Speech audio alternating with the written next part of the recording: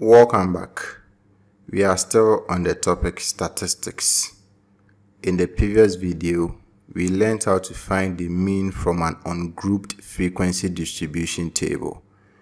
In this video, we are going to learn how to find the mean from a grouped frequency distribution table. Mean from a grouped frequency distribution table. From a grouped frequency distribution table, the mean is equal to sigma fx divided by sigma f. The f values are the frequencies and the x values are the class midpoints or the class mid values. In the videos on drawing frequency distribution table, we learned how to find the class midpoints and the class mid values. So I'm sure that by now you know how to find them because we are going to use that in this video. Let's apply this to solve a question. Let's consider this question. The table below shows the weekly wage of a number of workers in a company. So we have the weekly wages in one column and then the number of workers in another column. As we can clearly see, this is a grouped data. So we have 0 to 10, 11 to 20, 21 to 30, 31 to 40, and 41 to 50.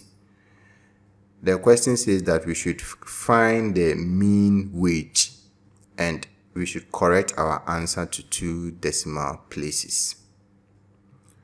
To do this, we will draw a table with four columns. The first one will be for the weekly wage and the second one will be for the frequencies and that will be the f values. To get the mean the formula is sigma fx divided by sigma f. We have the f values here so we will need the x values. The x values will be the class midpoints. With the x values we can now find the fx values because the fx values will be the product of the f values and the x values. So now let's find the x values that are the class midpoints or the class mid values.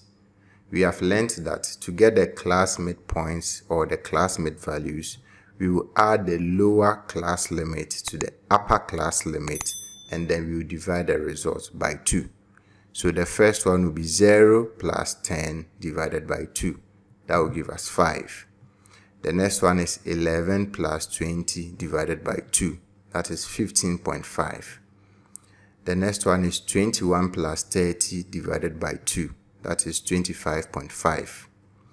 The next one is 31 plus 40 divided by 2. And that will give us 35.5. And the last one is 41 plus 50 divided by 2. That will give us 45.5. We now have the x values, so we can find the fx values. We will get that by multiplying the f values by the x values. So you have 4 times 5, which will give us 20. 8 times 15.5, which will give us 124.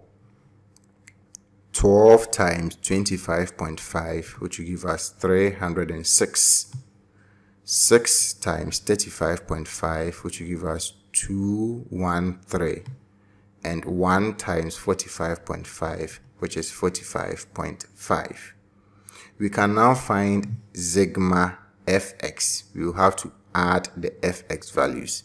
When we add all of them we are going to get 708.5 we need sigma f so we add all the f values and that will give us 31 so the mean will be equal to 708.5 divided by 31 and this will give us 22.85 remember the question said we should correct our answer to two decimal places. And so we can say that the mean weekly wage is 22.85 Ghana cedis. Let's consider another question. The following is a record of marks obtained by a group of 50 students in the chemistry test that was scored over 100. So we have the raw data here. The first part of the question says draw a frequency distribution table for the data using the interval 0 to 9, 10 to 19, etc. and use the table to find the mean mark. So we have the raw data here, which means that we are going to have a tally in our frequency distribution table. I've already explained how to do the tally for a data like this in the previous videos. So I'm very sure that by now you know how to do it.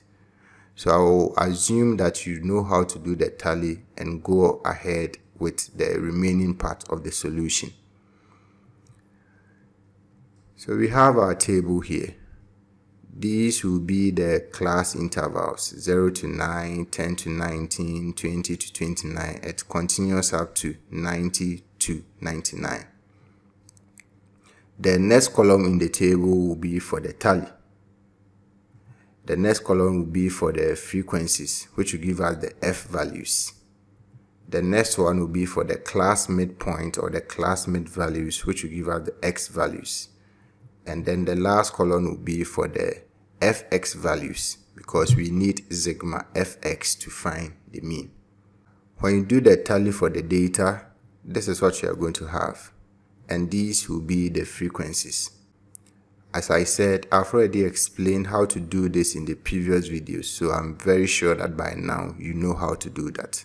So let's go ahead and find the x values, that's the class midpoint or the class mid values. To get that, we will add the lower class limit to the upper class limit and divide the result by 2. So the first one will be 0 plus 9 divided by 2 and that is 4.5. The next one is 10 plus 19 divided by 2, that's 14.5. The next one will be 20 plus 29 divided by 2, that will be 24.5. The next one is 34.5. The next is 44.5. The next is 54.5. The next one is 64.5. The next one is 74.5. The next one is 84.5 and the last one is 94.5. So to get the class midpoint or the class mid values, you add the lower class limit to the upper class limit and divide the results by 2. We now have both the f values and the x values, so we can find the fx values. To do that, we will multiply the f values by the x values. So for the first one, we have 4 times 4.5, and that will give us 18. The next one will be 4 times 14.5, that is 58. The one after that is 6 times 24.5, and that is 147. The next one is 6 times 34.5, that is 207. We have 8 times 44.5, that is 356. 5 times 54.5 is 272.5. 6 times 64.5 is 387. 4 times 74.5 is 298. 4 times 84.5 is 338.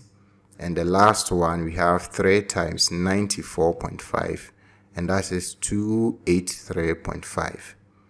We need sigma f x. So it means that we have to add all the fx values.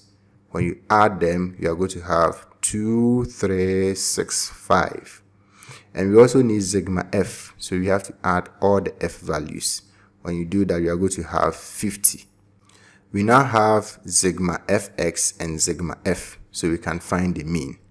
The mean will be equal to sigma fx, which is 2365 divided by sigma f, which is 50. 2365 divided by 50 is equal to 47.3. So what it means is that the mean mark is 47.3%. Thank you for watching this video. Subscribe to this channel for more videos. In the next video, we are going to learn how to find the mean of a distribution by using the assumed mean method. Bye bye.